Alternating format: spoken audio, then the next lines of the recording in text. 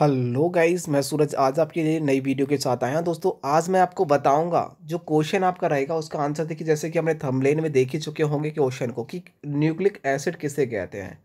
और संरचना का वर्णन कीजिए। देखिए न्यूक्लिक अम्ल, जिसे हम न्यूक्लिक एसिड कहते हैं। तो एक बात याद रखना न्यूक्लिक एसिड होता क्या है? ये कितने चीज़ों से बना होता है? ये कितने की समाई होता है? इसका कौन सा बहुलक होता है? सारी की सारी बात करेंगे एक एक पॉइंट के बारे में जाएँगे और अंदर तक कवर करेंगे।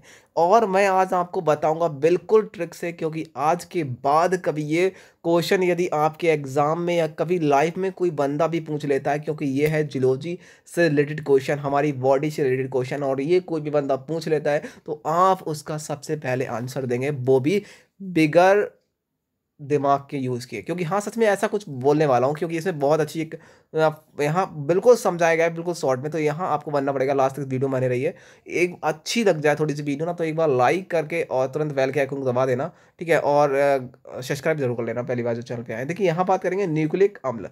अब देखिए न्यूक्लिक अम्ल होता क्या है? देखिए न्यूक्लिक एसिड होते हैं, या न्यूक्लिक अम्ल को हम न्यूक्लिक एसिड कहते हैं, जो पेंटोज सरकरा पेंटोज शुगर कहते हैं सरकरा को शुगर कहते हैं। तो पेंटोज सरकरा नाइट्रोजनी क्षारक तथा फास्फेट समूह की बनी अनेक इकाइयों का बहुलक होता है। समझ में आ रहा है?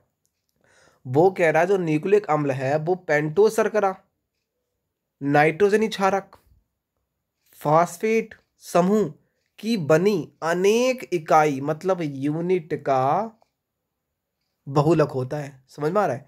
मतलब कि आप पेंटो सरकरा जो नाइट्रोजन क्षारक होता है, वो पेंटो सरकरा नाइट्रोजन क्षारक फास्फेट के समूह का इकाइयों का बना बहुलक होता है। अब देखिए, जो न्यूक्लिक एसिड होता है, न्यूक्लिक एसिड को हम दो भागों में बांट सकते हैं। कौन कौन से भागों में?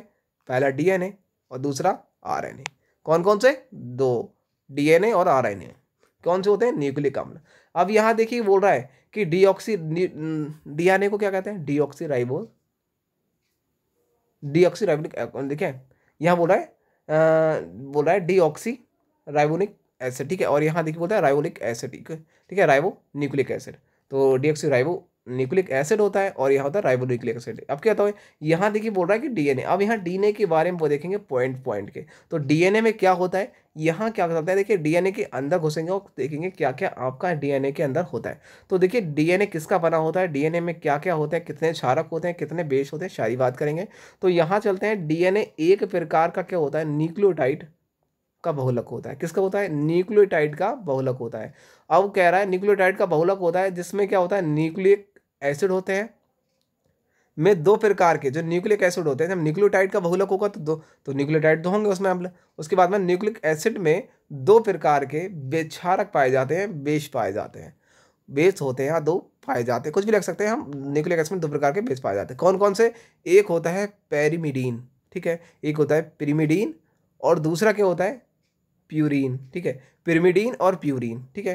प्यूरिड ठीक है, समझ में आ रहा है? तो पिरिमिडीन और प्यूरिन अब देखिए, कह रहा है कि जो था जो डीएनए है, उनमें डीऑक्सीराइबोज ठीक है? देख, कह रहा है डीएनए में डीऑक्सीराइबोज फास्फेट और प्यूरिन प्यूरिन कौन कौन से होते हैं? देखिए, जो प्यूरिन होते हैं, वो हमके एडमिन देखिए एडनिन और ग्लाइनिन होते हैं। तथा जो पेरीमिडीन होते हैं प्रीमिडीन जिसे कहते हैं वो होता है साइटोसिन और थाइमीन होता है, समझ में आ रहा है? और ये क्या होते हैं? क्षारक है। अब क्षारक का जो सूत्र याद करने का जो सूत्र हमने बना रखा है तो देख सकते हैं, जो है हमारा सूत्र ये रहा तो जो सूत्र है वो हमारा देखिए ये रहा कि टी यदि डीएनए है तो आप सिंपली याद करने, यदि डीएनए के अंदर कौन कौन से क्षारक होते हैं? क्षारक का सूत्र क्या कौन सा है? ए T C G, A T C G मतलब कि एडिनिन थाइमीन साइटोसिन और ग्लाइनिन, समझ में आ रहा है? अब क्या होता है, जब हमने सूत्र बना रखा है, याद रखना इस चीज़ को ट्रैक बना रखी, हमने सूत्र द्वारा इसलिए दे दिया कि आप आसानी से याद कर सकते हैं, एडिनिन थाइमिन साइटोसिन, ग्लाइमिन होता है।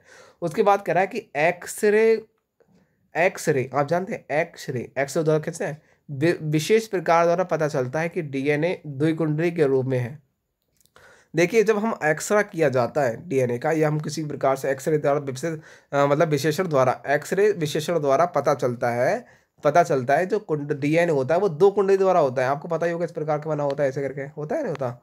ऐसे करके इस प्रकार का बना होता है, दो कुंडली द्वारा बना होता है। तो कह रहा है, दो कुंडली के रूप में बना होता है, इसकी सूचना प्रयोग मतलब यहाँ कह रहा है, सूचना प्रयोग कर। वाटसन और क्रिक ने, देखिए वाटसन और क्रिक नाम के दो वैज्ञानिक थे, आपको पता होगा। उन्होंने उन्नीस सौ तिरपन में डीएनए का दो कुंडली मॉडल दार मॉडल मतलब कि डबल हैक्सल मॉडल प्रस्तुत किया था। समझ में आ रहा है? और कह रहा है कि दोहरे कुंडली में जो डीएनए की दो पॉलीन्यूक्लियोटाइड श्रृंखला एक दूसरे से समांतर होती है। मतलब कि यार, एक बात बताओ, दो पॉलीप्लानेटल श्रृंखला ऐसे प्रकार से होंगी। तो मैं आपको दिखा रहा हूँ, इमेज दिखा रहा हूँ आपको सिंपल इमेज दिखा देता हूँ। अब देखो ये, एक तो ये श्रृंखला हो गई, ये गई, और एक इसके जो साइड में ऐसे करके आई है, वो एक ये गई। तो ये क्या समांतर भी तो होंगी तो? समांतर ही होंगी ना, समान मतलब कि समान लंबाई की होंगी, दोनों होंगी। तो यहाँ कह जा रहा है कि समान मतलब कि यहाँ कह रहा है, देखिए कह रहा है कि समांतर होती हैं। समझ रहा है? दोनों जो पॉली, दो पॉलीनेटिव श्रृंखला होती हैं, वो समान होती हैं एक दूसरे के। अब कह रहा है कि क्षारक के मध्य हाइड्रोजन बॉन्ड बनते हैं। अब देखिए, दोनों जो क्षारक होंगे, उनके जो बॉन्ड बनते हैं, जो बॉन्ड बनेंगे तो बीच में जो बॉन्ड बन रहा है, जो जुड़ रहा हुआ है तो ये क्या होता है, जो हाइड्रोजन बॉन्ड कहलाते हैं। कौन से कहलाते हैं? हाइड्रोजन बॉन्ड, याद हो गया?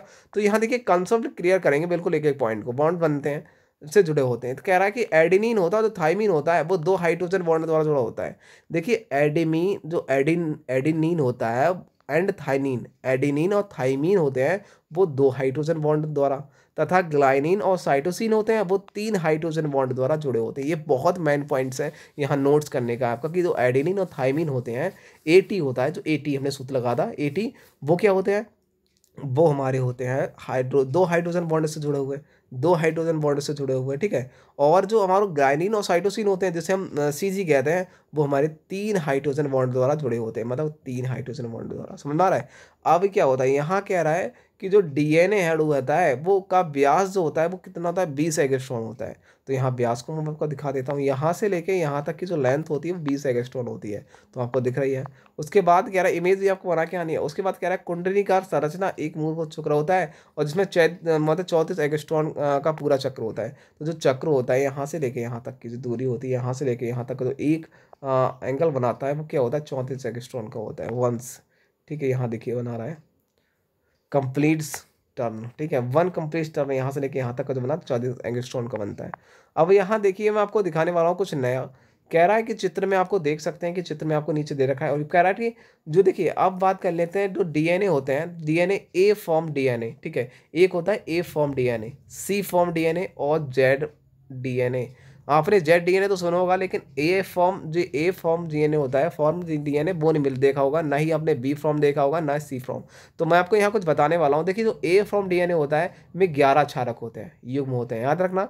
बी फॉर्म डीएनए में होता है, उसमें बारह क्षारक होते हैं, याद रखना इस बात को। और सी फॉर जो डीएनए होता है, उसमें हमारे नौ क्षारक होते हैं, युग्म होते हैं, ठीक है, नौ क्षारक युग्म पेयरिंग पेयरिंग होता है। और इसमें जो जेड डीएनए होता है, उसमें बारह क्षारक होते हैं जेड डीएनए में बारह क्षारक जो क्षार होते हैं, जोड़े होते हैं। कितने? मतलब जेड डीएनए में बारह क्षारक जोड़े होते हैं। समझ में आ रहा है?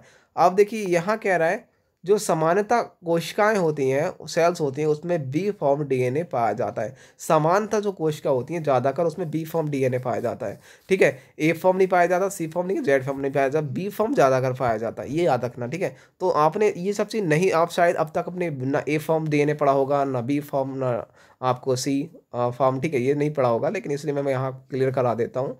तो इसके बाद में आपको देखिए, ये आपको ये इमेज बना के आनी है मैं आपको इमेज शो कर रहा हूँ नेट ठीक है इमेज डिस्प्ले पे। तो एक्चुअली आपको ये इमेज इस प्रकार से बनानी है एगस्ट्रॉन पूरा, ठीक है, बाईस एक्सट्रॉन चौबीस एक्सट्रॉन और देखिए यहाँ टैस लगा के, ठीक है हाइड्रोजन पॉइंट और यहाँ आपका जो मैं सेंट्रल एक्सेल होगा, ठीक है, ये सारी के सारी यहाँ लिख देना है। और गोवन अब देखिए यहाँ इसी में एक क्या लिखना है? अब बात आती है कि आरएनए के बारे में, यार जब हम देखिए न्यूक्लिक एसिड को हमने दो भागों में बांटा था, एक डीएनए में बांटा था और एक बाटा था आरएनए में। डीएनए तो हमने कॉन्सेप्ट कर लिया, आरएनए को अब देख लेते हैं। आरएनए क्या कह रहा है? देखिए, आरएनए बहुत इंपॉर्टेंट रहेगा और ये आपके लिए तीन, ये अलग अलग से भी पूछ सकता है एग्ज़ाम में, ठीक है? लेकिन न्यूक्लिक एसिड का यदि क्वेश्चन आए तो भी आपको यही लिखना है। तो यहाँ कह रहा है कि जो आरएनए होता है, वो राइबो जो आपका राइबो राइबोटाइड होता है राइबोटाइड ठीक है? राइबोटाइड का बहुलक होता है। किसका होता है? राइबोटाइड का बहुलक होता है। इसमें जो होता है राइबो न्यूक्लिक एसिड भी कहा जाता है। इसे कैसे कहते हैं? राइबो न्यूक्लिक एसिड भी कहते हैं। इसे कैसे आरएनए को, ओके? अब कह रहा है, जो राइवॉइड का बहुलक होता है, उसके बाद कह रहा है कि इसमें क्षारक जो प्यूरिन होता है, वो एडिनिन और ग्लाइनिन होता है, लेकिन जो पैरिमिडीन होता है पिरीमिडीन होता है, उसमें साइटोसिन और यूरोसिल होता है। मतलब कि जो थाइमीन की जगह पे क्या हो जाता है यूरोसिल हो जाता है, ठीक है? थाइमीन की जगह पे क्या हो जाता है यूरोसिल हो जाता है। अब देखो यहाँ, कुछ नया। अब कह रहा है, अब हमने इसको भी सूत्र बना रखा है, देखिए हमने वो सूत्र क्या लिखा था? ए टी सी जी डीएनए का सूत्र था। हमने इसका क्या लिखा? ए यू सी जी तो क्या बदला? केवल ये चीज़ बदलनी है। आपको जो डीएनए हो, वहाँ टी कर देनी है। जहाँ आर एन ए हो, वहाँ यू कर देना है। बाकी सेम टू सेम इस सूत्र को याद रख लीजिए। आपको सिंपली कभी डाउट नहीं होगा कि एडेनिन में कितने एडेनिन कितने कौन मतलब किसमें क्या होता है। तो यहाँ क्या है? कितने पैरामिडिन और कितने प्यूरिन होते हैं। तो यहाँ देखिए एडेनिन साइमिन हमने सूत्र का, हमको निगमन कर दिया। अब देखिए बात कर लेते हैं आर एन ए अब आर एन ए कितने प्रकार के होते हैं? ये भी जानना बहुत ज़रूरी है। तो आर एन ए होते हैं बेटा दो प्रकार के। कोई भी बंदा है, दो प्रकार के होते हैं। कौन कौन से? देखिए, वो होता है अनुवंशिक डीएनए और होता है, जिसे हम नॉन जेनेटिक आरएनए कहते हैं, ठीक है? आरएनए कितने प्रकार के? दो प्रकार के होते हैं। नॉन जेनेटिक आरएनए और होता है जेनेटिक आरएनए, जिसे अनुवंशिक आरएनए कहते हैं। अब देखिए, जो नॉन जेनेटिक आरएनए होता है नॉन जेनेटिक आरएनए होता है, वो होते हैं हमारे तीन प्रकार के। नॉन जेनेटिक आरएनए होते हैं तीन प्रकार के कौन कौन से मनु देख जेनेटिक आरएनए एक ही प्रकार का बस इसके कोई और लेकिन नॉन जेनेटिक आरएनए होता है तीन प्रकार के कौन कौन से एक होता है R R N A T R N A और एम आर एन ए अब देखिए मुझे संदेश वाहक आर एन ए कहते हैं ट्रांसफ़र आर एन ए कहते हैं और राइबोसोमल आर एन ए कहते हैं ठीक है समझ में आ रहा है ना ये क्लियर होता है अब देखिए यहाँ कुछ ये देखिए यहाँ कह रहा है कि आर आर एन ए क्या होता है आर आर एन ए क्या होता है यह राइबोसोम बार केंद्रका में पाया जाता है। देखिए, ये राइबोसोम और केंद्रका में पाया जाता है, ये कुल आरएनए का 80 परसेंट होता है। कितना होता है? जो आर आर एन होता है, जिसे हम राइबोसोमल आर एन ए कहते हैं, राइबोसोमल केंद्रक में, ये कहा राइबोसोम में या केंद्रक में पाया जाता है। देखिए कोशिका के जो राइबोसोम या केंद्रक होता है, वहाँ पाया जाता है आर ये कुल कितना होता है? जो आर एन ए का अस्सी भाग होता है, समझ में आ रहा है?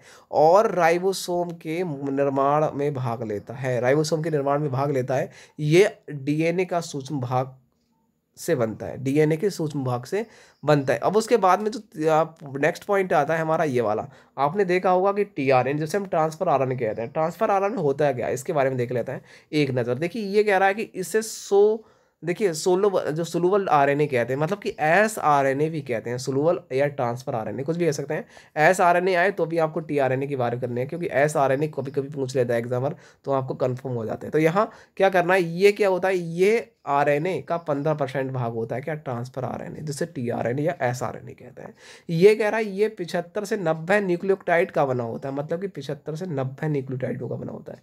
ये अमीनो अम्ल की एम आरएनए राइबोसोम के पास ले जाता है मतलब जो एम आर एन ए है, तथा राइबोसोम के पास ले जाता है न्यूक्लिक अम्लों को, न्यूक्लिक एसिडों को, वह न्यूक्लिक एसिडों को R M R N A और राइबोसोम के पास ले जाता है। कौन? टी आर एन ए जैसे ट्रांसफ़र ले जाता है मतलब लेने, ले जाने काम करेगा तो ट्रांसफ़र अब कहता है, आ जाता है M R N A M R N A होता क्या है? तो ये है हमारा जो देखिए डीएनए के अनुलेख। डीएनए के अनुलेख जिसे हम ट्रांसक्रिप्शन कहते हैं, ठीक है? तो यहाँ कह रहा है देखिए, यहाँ बोल रहा है ट्रांसक्रिप्शन ठीक है? देखिए ट्रांसक्रिप्शन लिखा है, यहाँ देखिए, अनुलेखन की बात कर रहे हैं। अनुलेखन द्वारा जो प्रोटीन संश्लेषण को जो कोडित करता है, समझ में आ कि यहाँ कहा जा रहा है कि जो डीएनए के अनुलेखन के द्वारा प्रोटीन संश्लेषण को कोडित करता है, ये कोशिका शहर के आरएनए का तीन से पाँच परसेंट भाग होता है। और क्या होता है, फिर ये डीएनए में सभी भागों में बनता है। एम आर एन ए होता है, बट डीएनए के सभी भागों में बनता है। तो आई होप हमारी वीडियो आपको पसंद आई होगी। तो यार आप लाइक कर दीजिए इस वीडियो को, ताकि आपको यहाँ से क्वेश्चन भी बाहर एक्चुअली नंबर बाहर नहीं जाएँगे। तो यार ऐसे प्लेट वीडियो को आपको सब्सक्राइब एंड यूट्यूब चैनल को सब्सक्राइब करके एक दबा देना है बेल के आइकन को। ठीक है तो आई होप वीडियो पसंद आई तो like and share thank you